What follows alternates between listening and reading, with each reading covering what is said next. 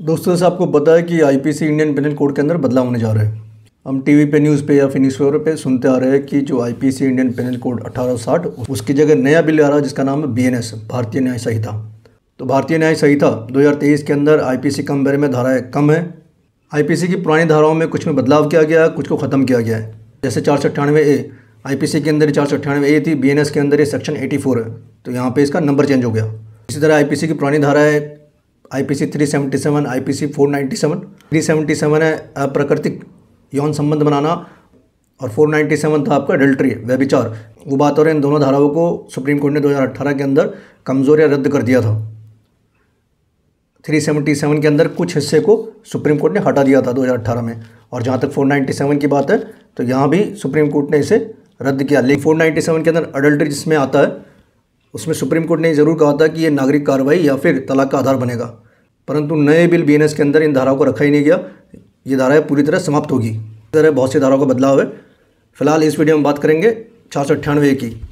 दोस्तों, अगर आप लोगों ने हमारा चैनल सब्सक्राइब नहीं किया तो please subscribe channel press the bell icon. ये भारतीय न्याय संहिता के अंदर जो सेक्शन 84 है, वो 498 की जगह है। जहाँ तक हम डेफिनेशन की बात करें, चार सौ अट्ठानवे के अंदर डेफिनेशन बात करें या 84 सेक्शन बी के अंदर बात करें तो इसमें कोई बदलाव नहीं है, ऑलमोस्ट सेम ही है। सेम टू सेम डेफिनेशन परिभाषित जिस तरह चार सौ अट्ठानवे किया गया था आईपीसी अंदर, उसी तरह सेक्शन 84 फोर के अंदर भी परिभाषित किया गया।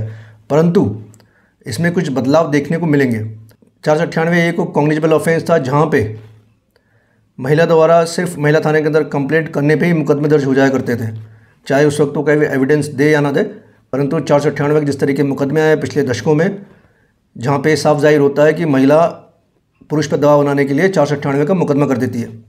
और उनकी जो एफ़ का पैटर्न होता है वो सेम होता है। मान लीजिए घर के अंदर पाँच सदस्य है तो उन पाँचों सदस्यों को उस एफ़ में नाम होता है और उनको एक ही कहानी के आसपास रखा जाता है कि जैसे सबने मिलकर मारपीट की, सबने दहेज की मांग करी, सबने मेरे साथ दुर्व्यवहार किया। और इस तरह की रिपोर्ट पे भी चार सौ अट्ठानवे के मुकदमे दर्ज होते हैं।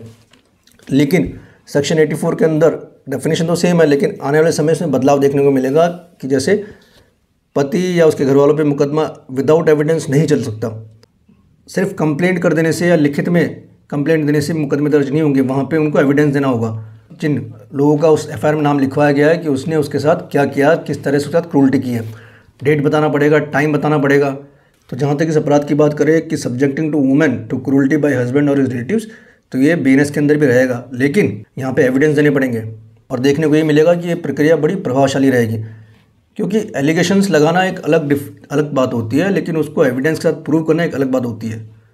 अगर किसी के साथ कुछ किया ही नहीं है, मान लीजिए घर में हल्का फुल्का मनमटाव है, और वो ब्लेम लगाते हैं कि इस तरह का कि मुझसे दहेज की मांग की गई, चाहे बात कुछ और हो, लेकिन उनका जो ब्लेम आता है, वो दहेज पे आता है मेंटल टॉर्चर पे आता है तो उसके लिए आपको एविडेंस देने पड़ेंगे साबित करना पड़ेगा।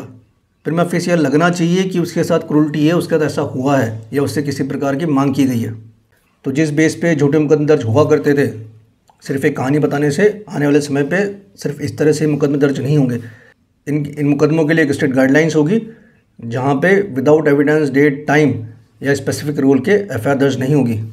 तो अगर ये धारा रखी गई है बीरेस के अंदर तो इसमें इतनी घबराने वाली बात नहीं है, क्योंकि ज़ाहिर सी बात है, जिसके साथ गलत है उसका न्याय तो मिलना चाहिए। ये उनके लिए एक प्लस पॉइंट है, जो कुछ करते नहीं है, जो किस तरह के परेशान नहीं करते, किस तरह की मांग नहीं करते, और उनके विरुद्ध महिलाएँ मुकदमे दर्ज करा देती है तो उन लोगों को बीएनएस में बहुत फ़ायदा मिलने वाला है। अब तक जो आईपीसी में नहीं मिलता था, जिन्होंने कुछ नहीं किया, वो भी मुकदमों में खिंच जाते थे, मुकदमे चलते रहते, परेशान होते रहते। लेकिन बीएनएस में ऐसे लोगों को फ़ायदा मिलेगा, जो लोग अपनी पत्नी या महिला के साथ कुछ गलत नहीं करते किस तरह की मांग नहीं करते। तो दोस्तों उम्मीद करता हूँ जानकारी समझ आई होगी, आने वाले समय में बीएनएस में क्या क्या बदलाव होंगे कौन सी धाराओं में क्या बदलाव होंगे, इसकी जानकारी हम आपको देते रहेंगे। वीडियो को लाइक, शेयर करना ना भूलें। साथ ही अगर आप लोगों ने अब तक हमारा चैनल सब्सक्राइब नहीं किया तो please subscribe channel press the bell icon.